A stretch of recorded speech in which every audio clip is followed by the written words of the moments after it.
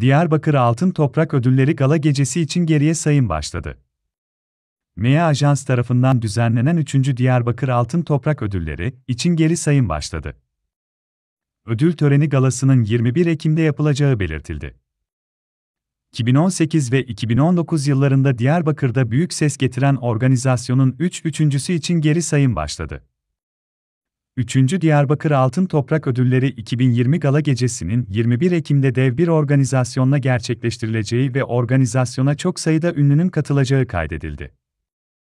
Görkemli ödül gecesiyle ilgili açıklama yapan MEA Ajans kurucusu ve proje koordinatörü Elif Yıldız, Diyarbakır'da bulunan markaları sektörel bazda kategorilere ayırarak en iyi, en başarılı, en dikkat çeken, en iyi çıkış yapan ve fark oluşturan alanlarında ödüllendirdiklerini belirtti kurulan tertip komitesi ile birlikte amaçlarının markaların yıl içerisindeki hizmetlerini, büyüme ve gelişimlerini başarılarını ön plana çıkarmak ve kurumsallıklarına katkı sağlamak olduğunu kaydeden Yıldız, hedefimiz projeyi muhteşem, görkemli bir organizasyon ile tamamlayarak önümüzdeki yıllara zemin hazırlamaktır.